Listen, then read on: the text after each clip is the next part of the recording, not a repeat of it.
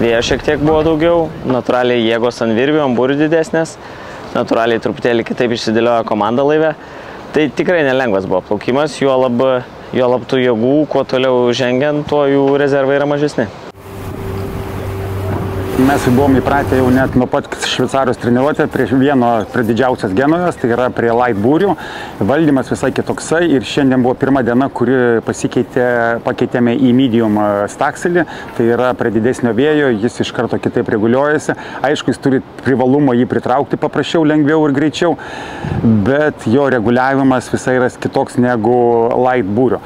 Bet manau, kad visai neblogai man pasisekė nureguliuoti su komandos pagalba ir visi galvoja, galvoja, kad mes šiandien vieną, antrą, trečią, ketvirtą ar ten penktą laimime, bet ta kiekviena pergalė yra juodas darbas. Prieš pat startą mes turime susirinkimą, po finišo vėl turim susirinkimą. Atrodo, kad mes laimim, kad mes pirmie plaukiame, bet kai jeigu kas pabūtų laive, suprastų, kad tai nėra e, paprastas darbas, pamatytumėt mano kojas, tai suprastumėt, kad jos visos nudaužytos ir šonai. Tai tikrai nėra lengvas, paprastas ir pasiplaukimas tikrai to žodžio prasme paplaukimo norėjosi krist, bet krist su maloniu, maloniu jausmu, nes tu žinai, kad tu padarai viską. Tai šiandien iš tikrųjų nu, jautėsi labai tas ir fizinių jėgų truputėlį, kad atidavėmės jas iš tikrųjų, nes vakar buvo silpnesnis vėjas, bet šiandien atidavėm tikrai viską, ką galėjom ir nu, va, džiugu, kad rezultatas tai, tai atspindėjo. Mes esam tokie kaip, kaip dantratukai, tie va devyni žmonės laive, tu gali atimti vieną, nu, tai laivas galbūt dar plauks, bet jeigu atimsi antrą, tai nu, iš esmės griūva patys visi procesai. Tai kaip pavyzdys, jeigu yra vendas, tai vienas ten, kaip pavyzdys, aš su kavamalė, vienas paleidžia ten vieną gervę, kitas traukia kitą gervę, išmes vieną žmogų iš to manevro ir iš esmės manevras yra sugadintas.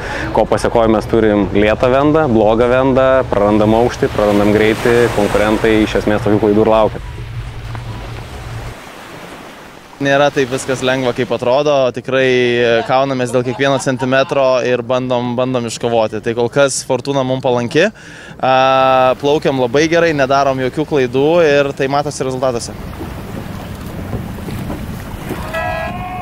Turbūt toks yra nusistovėjusi jau praktika, džiaugiamės plaukdami atgal į krantą, tai yra apie 15 minučių, leidžiam savo plačiom šypsenom džiaugtis ir didžiuotis tą, ką padarėm.